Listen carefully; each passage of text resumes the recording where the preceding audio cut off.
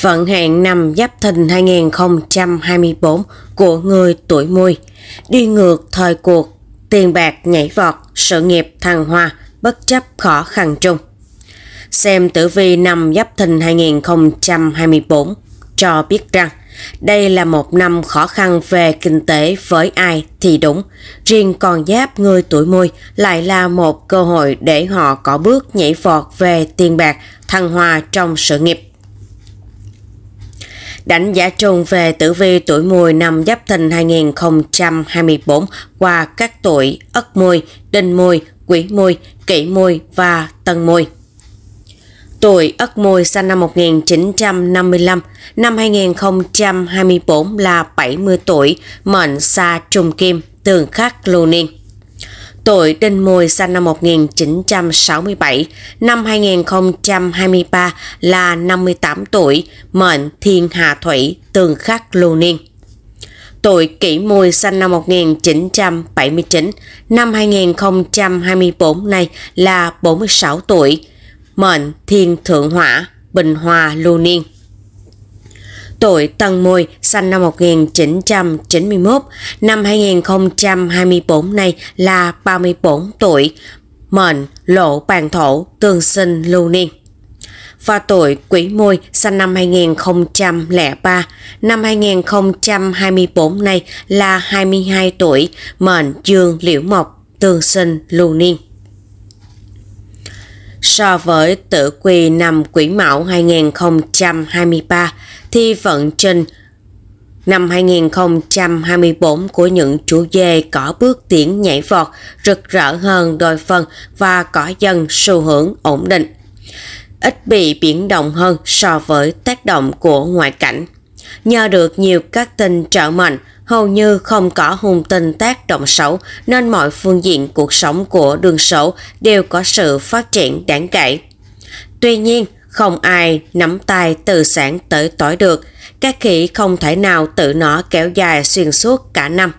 Đang xen với những các khỉ thì có những thời điểm hung khỉ lẫn ác hoặc đơn giản là cảm xúc đi xuống cũng kéo theo vận trình giảm sút miễn là mệnh chủ luôn duy trì được tinh thần tích cực, lạc quan, chủ động trong mọi tình huống thì sẽ có một năm đáng để kỳ vọng. Công việc năm 2024 này nhờ có đầu óc tỉnh táo, minh mẫn mà những chú dê hoàn thành tốt mọi nhiệm vụ được giao và khiến cho lãnh đạo hài lòng. Năm giáp thìn mở ra nhiều cơ hội thăng tiến cho con giáp này bạn hoàn toàn có thể được bổ nhiệm vào vị trí cao hơn, xứng đáng hơn với năng lực hiện tại. Tuy nhiên, dù có gặt hái được thành công lớn lao thì cũng đừng ngủ quên trên chiến thắng, bởi còn giáp này vẫn cần cố gắng không ngừng. Phương diện tài lộc cũng có nhiều dấu hiệu được cải thiện, dù bạn làm trong lĩnh vực nào thì cũng có một tuổi tiền rủng rỉnh Người làm công ăn lương nhận được nhiều khoản thưởng nóng, hoa hồng, thậm chí có người được thăng chức nên tiền lương cũng tăng theo. Với người làm kinh tế, bạn ký kết được những hợp đồng béo bở, đưa ra những quyết sách đúng đắn, đem tiền về cho tập thể. Tình cảm của người tuổi mùi vào năm Giáp Thìn 2024 này cũng khá triển vọng. Người độc thân có thể tự làm quen hoặc được giới thiệu cho những đối tượng. Ưng ý, chỉ cần bạn chịu mở lòng thì có thể nhanh chóng nên duyên với một người nào đó. Với người đã lập gia đình, nhờ các thành viên luôn quan tâm, thấu hiểu lẫn nhau mà ngôi nhà của bạn lúc nào cũng duy trì được sự ấm áp, tràn hòa niềm vui. Tình hình sức khỏe của những chú dê trong năm 2024 này không có gì đáng lo ngại. Công việc tiến triển thuận lợi giúp bạn không phải lo lắng căng thẳng nhiều.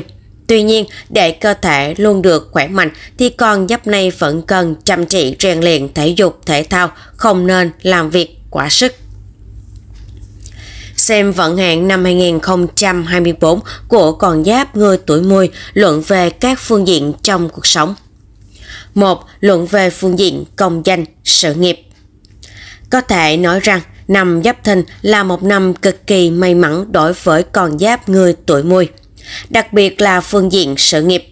Bản mệnh thể hiện được các điểm mạnh của mình trong công việc nên có thể gây ấn tượng tốt đẹp với mọi người xung quanh, chạm tay tới cơ hội được cất nhắc. Năm nay có sao chỉnh ẩn và chỉnh quan phù trợ sẽ đặc biệt tốt cho những người đi theo con đường công danh. Bạn vốn là người chỉnh trực, có tinh thần trách nhiệm cao, nên một khi được giao cho nhiệm vụ gì là sẽ cố gắng hoàn thành đến cùng. Tất nhiên, quá trình làm việc cũng không tránh khỏi và vấp, song còn giáp này không nghĩ tới việc bỏ cuộc. Tinh thần quyết tâm, tích cực không những giúp bạn đạt được mục tiêu đề ra mà còn truyền được cảm hứng cho mọi người xung quanh. Hơn nữa, các tình thiền đức bảo hiệu quỷ nhân sẽ luôn xuất hiện đúng lúc khi bạn cần nhất. Chỉ cho bạn một hướng đi phù hợp để vượt qua khó khăn. Bước sang năm 2024 này sẽ đem tới cho bạn cơ hội được cất nhắc lên một vị trí cao hơn, xứng đáng hơn với năng lực hiện tại. Khi được cấp trên hoặc đồng nghiệp đề bạc tiến cử, bạn hãy tự tin đứng lên nhận lấy những gì xứng đáng thuộc về mình. Cố gắng làm việc tốt hơn nữa để đem lại lợi ích cho tập thể chính là cách bảo đáp mọi người xung quanh đúng đắn nhất.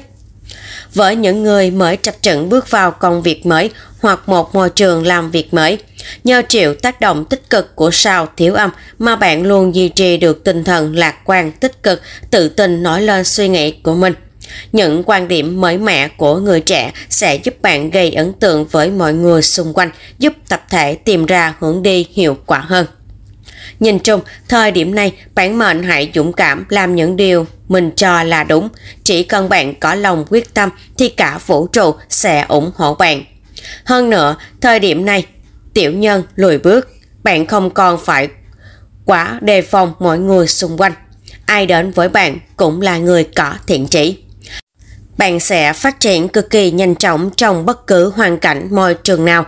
Cốt là bạn không dễ dàng, thỏa mãn với những gì mình đạt được và cũng không ngủ quên trên chiến thắng.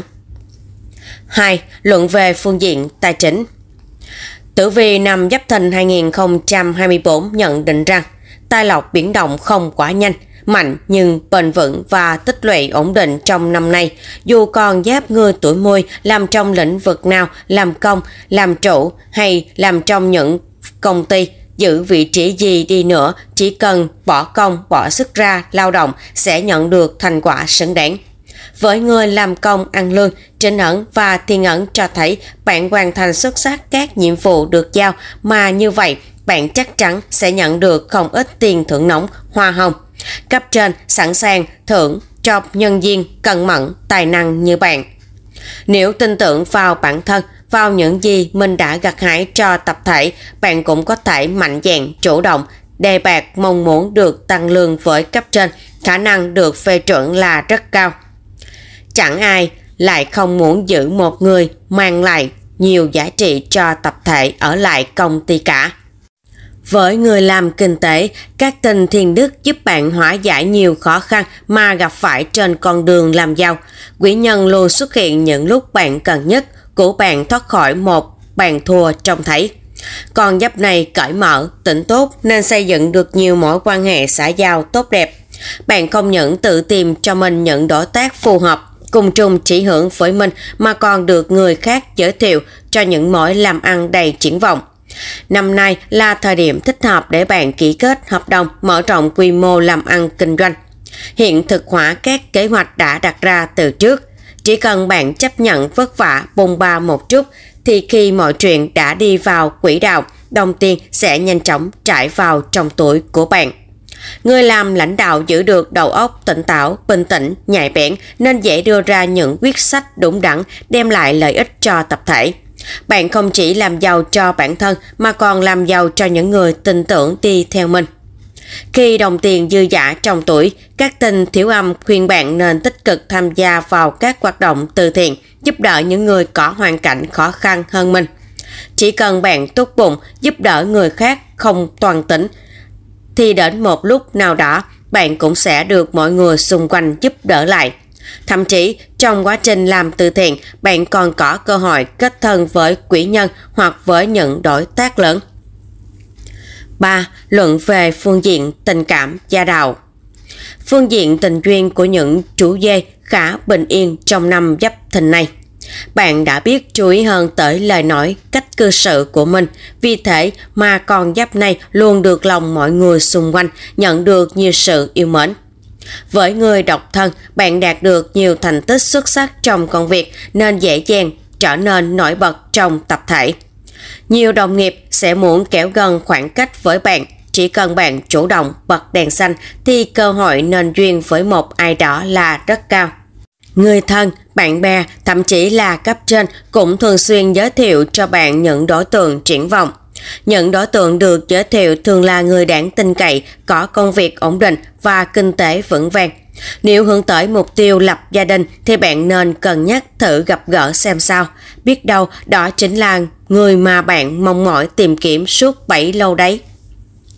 Với những người đang có vết thương trong lòng, hãy để chuyện quá khứ trôi qua và đừng dành thời gian để thương nhớ hay oán giận những người đã quay lưng với mình.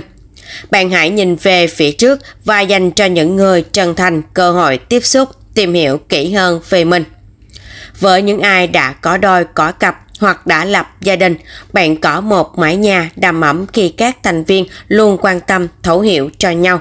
Vợ chồng bạn luôn quan tâm cùng nhau mọi chuyện và cổ vũ nhau cùng vượt qua khó khăn. Giữa cha mẹ, con cái khó tránh khỏi những lúc bất đồng trong cách suy nghĩ, cách làm. Xong, đôi khi phải luôn cố gắng đặt mình vào vị trí của đối phương, nhờ thế mà không có mâu thuẫn hay gây gắt nổ ra, đôi bên cũng ngày một thấu hiểu nhau hơn. Sao Thiền Đức cũng giúp ích cho các cặp đôi đón nhận tin mừng đón thành viên mới trong năm Giáp Thìn. Hãy luôn quan tâm, chăm sóc nhau để con cái được ra đời trong hoàn cảnh tốt đẹp nhất. 4. Luận về phương diện sức khỏe Vận hạn năm Giáp Thìn 2023 cho biết đường sổ sẽ không gặp phải những nguy cơ lớn lao về phương diện sức khỏe. Mệnh chủ duy trì được sức khỏe ổn định, tinh thần phấn khởi, lạc quan. Nhờ vậy mà bạn có thể bắt tay làm mọi điều mà mình mong muốn, tham gia vào mọi hoạt động muốn tham gia và đạt được mọi kế hoạch đã đề ra. Nếu mắc phải những căn bệnh mạng tính trước đó, thì thời điểm này do chăm chỉ, rèn luyện thể dục, thể thao và tuân thủ lời bác sĩ uống thuốc đều đặn mà bạn cảm thấy bệnh tình của mình có dấu hiệu cải thiện. Một số người gặp được đúng thầy, đúng thuốc, thậm chí có thể chữa khỏi được bệnh trong năm nay. Với những người trẻ tuổi, thì bạn không nên phung phí sức khỏe của bản thân. Dù công việc có bận rộn đến mấy thì cũng đừng quên dành thời gian để nghỉ ngơi, ăn uống điều độ. Nếu bỏ bữa thường xuyên hoặc hay thức khuya dậy sớm, bạn sẽ dễ bị bệnh dạ dày, sườn khớp hoặc các vấn đề về thần kinh. Xem vận hạn năm Giáp Thìn 2024 cho từng tuổi mùi như sau. một Tuổi Ất Mùi, sinh năm 1955, mệnh Kim. Tử vi năm Giáp Thìn 2024 cho thấy đây sẽ là một năm bình yên đối với người tuổi Ất Mùi, sinh năm 1955. Bản mệnh cũng đã khá cao tuổi nên biết hài lòng với những gì mình đang có, sống trang hòa với mọi người xung quanh, không còn tranh đọt với những người ở ngoài xã hội. Vận trình tài lộc ổn định, khoản tiền lương, tiền tiết kiệm suốt những năm tháng tuổi trẻ giúp bạn có thể chi tiêu khá thoải mái mà không cần phụ thuộc vào con cái. Bạn có thể dùng khoản tiền này để chú ý chăm sóc sức khỏe của mình nhiều hơn. Trong gia đạo, bạn đặt nhiều niềm tin vào con cháu nên không đưa ra những ý kiến ép buộc người nhà phải làm theo. Gia đạo bạn luôn ấm êm, con cháu biết kính trên nhường dưới, nhìn chung không có gì đáng lo ngại. 2. Tuổi Đinh Mùi, sinh năm 1967, mệnh Thủy. Người tuổi Đinh Mùi, sinh năm 1967, cũng được trải qua một năm bình yên, không có nhiều sóng gió. Với những người vẫn còn đang công tác, nhờ vào kiến thức, kinh nghiệm của mình mà bản mệnh đưa ra được những quyết sách đúng đắn. Không chỉ giúp sự nghiệp của bản thân phát triển ổn định mà còn đưa ra được những lời khuyên đúng đắn cho mọi người xung quanh. Người làm ăn kinh tế cũng khẳng định được vị trí của mình trên thị trường nên duy trì được lượng khách hàng ổn định, không lo đến sự cạnh tranh của đối thủ. Thậm chí, năm nay bạn còn có cơ hội gặp gỡ quỹ nhân. Đối phương sẽ giới thiệu thêm cho bạn những cơ hội làm ăn. Nếu nắm bắt được thì có thể thu về lợi nhuận dư giả. Gia đạo của người tuổi Đinh Mùi sinh năm 1967 cũng duy trì được bầu không khí yên ấm. Vợ chồng bạn luôn quan tâm, lo lắng cho nhau trên mọi mặt cuộc sống. Kết hôn càng lâu thì tình cảm càng thẩm thiết.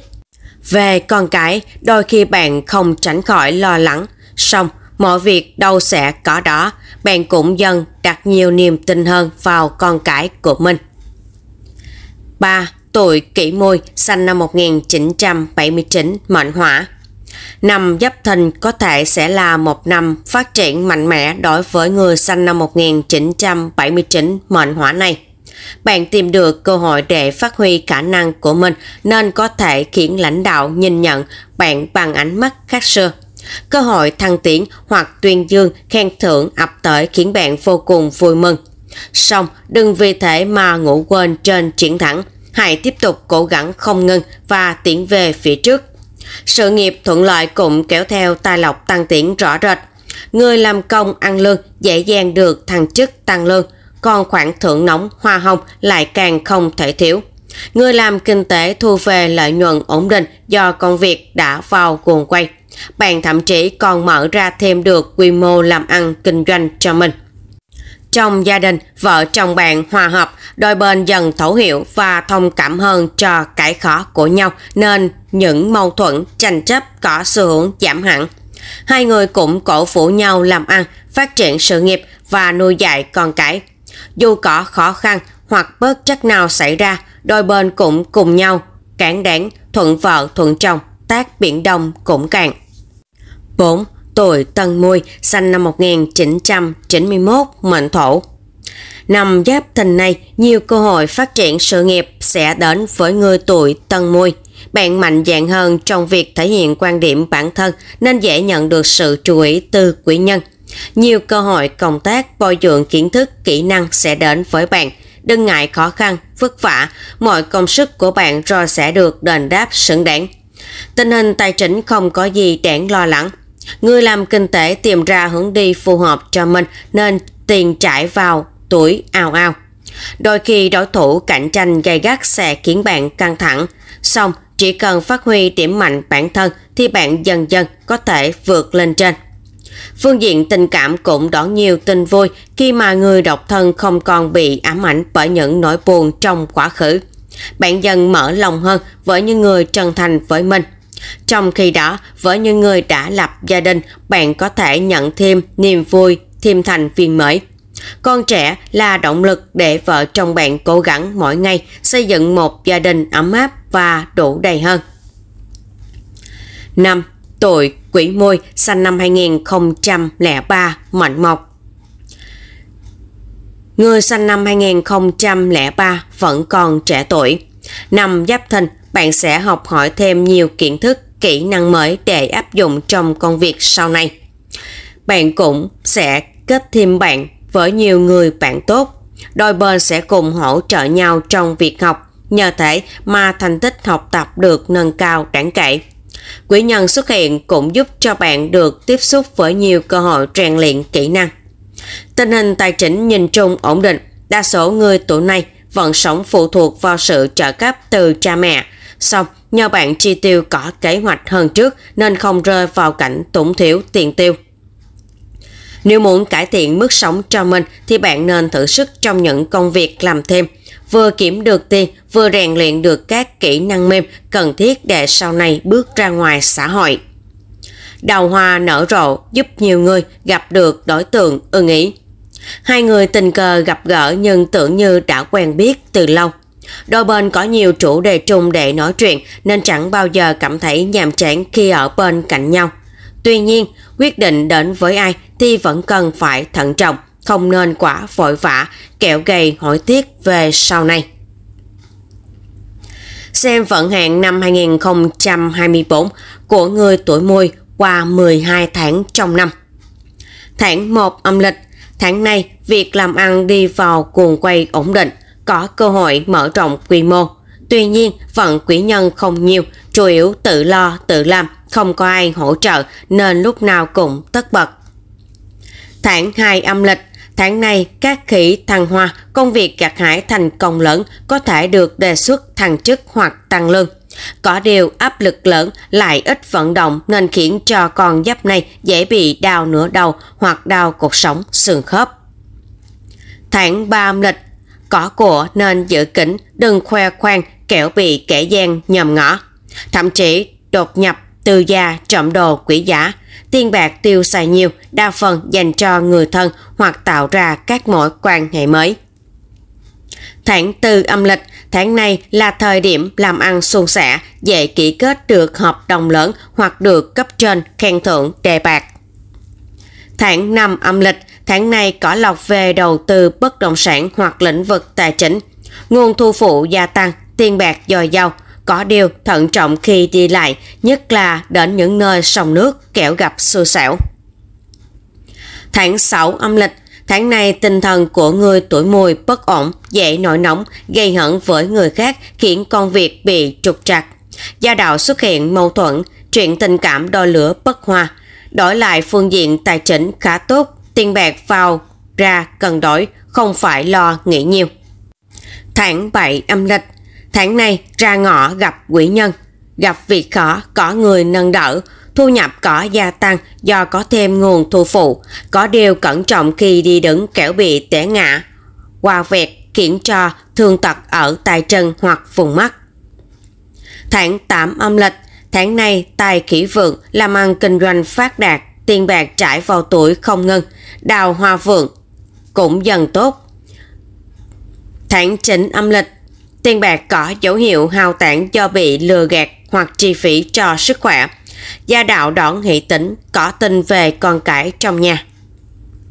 Tháng 10 âm lịch, tháng này tiền bạc không ngừng trải vào tuổi, tiêu pha rủng rỉnh cho cả người thân trong gia đình. Đón tin vui về con cái hoặc hệ tính trong nhà.